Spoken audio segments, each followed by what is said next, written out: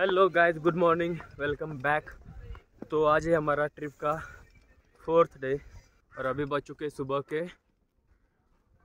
साढ़े सात। और अभी हम निकल पड़े। यहाँ पे एक हॉट स्प्रिंग है। वहाँ पे शिव जी का मंदिर भी और भाई ठंड तो बहुत ज़्यादा है यहाँ पे। हमारी तो रात में नींद ही खराब करती इतना टेम्परेचर था कि हम इतना पहने थे, फिर भी ठंड कम नहीं हो रही थी। ये देखो भाई, यहाँ से सनराइज होने वाला है। और ये है हमारा सामने देख सकते हो, बर्फ़ का माउंटेन और नीचे भी देखो, जितना भी पानी बह रहा था टेम्परेचर की वजह से उसका बर्फ़ बन चुका था लिटरली वो देखो, ये बहुत सही है। सनलाइट अच्छा सा गिर रहा है माउंटेन पे। हम हॉट स्प्रिंग की तरफ़ आ चुके हैं। हमारे कैंप से ज़्यादा दूर नहीं है, पास ही है। और ये देखो। भाई, ये है हॉट स्प्रिंग नेचुरल गर्म पानी। ठीक है भाई। मतलब यहाँ के टेम्परेचर के हिसाब से बहुत सही है पानी। मस्त। है तो भाई, पानी तो अच्छा गर्म है।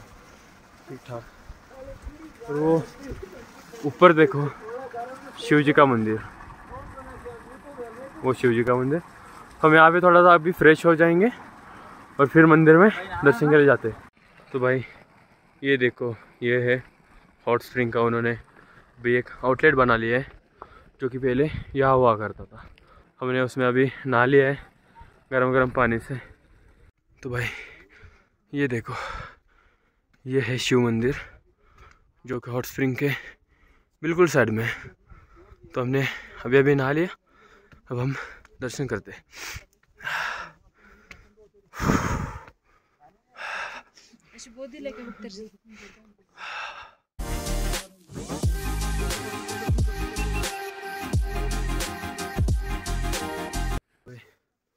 फाइनली हमने दर्शन ले लिया है।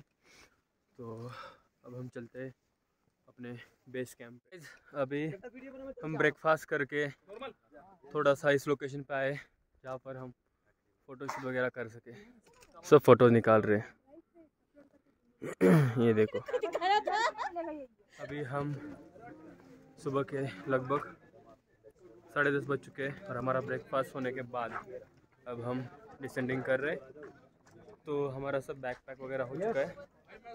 और हम पहाड़ उतरने के लिए तैयार इस तरह से हमारा खीरगंगा से डिसेंडिंग चालू हो गया है। और सबने अच्छा खासा ब्रेकफास्ट कर लिया है। तो सारे फुल जोश में लग रहे हैं। चलिए, मिलते हैं।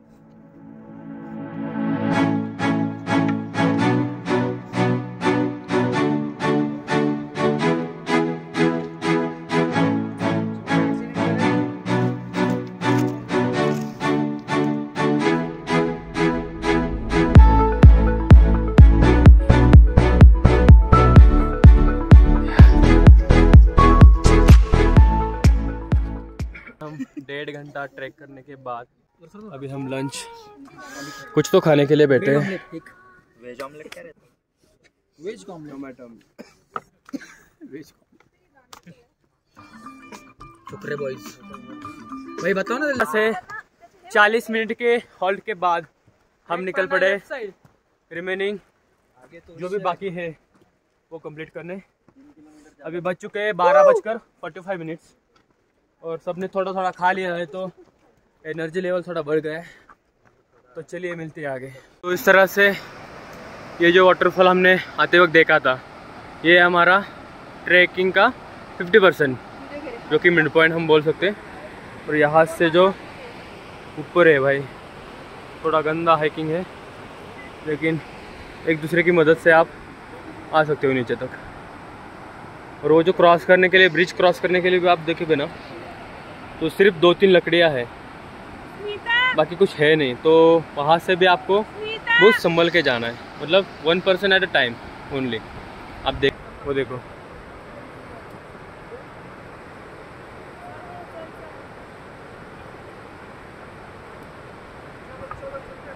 खूप गर्दी तिथे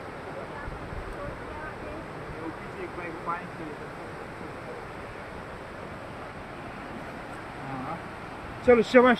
चलो तो इस तरह से वो लोग क्रॉस कर रहे हैं। तो हमें भी कुछ इस तरह से ही यहाँ से जाके वो क्रॉस करना है। फाइनली फाइव घंटे के बाद हम पहुँच चुके हैं अपने फाइनल ब्रिज क्रॉसिंग पे। ये हमारा लास्ट ब्रिज है, जो हमने सबसे पहले किया था क्रॉस इसके बाद थोड़ा सा इजी वाला रास्ता है। तो अभी बस आधे घंटे का सफ़र बाकी है। और हम पहुँच जाएँगे अपने बेस पे। सो so, फाइनली हमारा जो खीर गंगा ट्रैक है उसके बस कुछ लास्ट के पाँच छः स्टेप्स बाकी है और हमने फाइनली खीर गंगा ट्रैक कंप्लीट किया दो दिन में।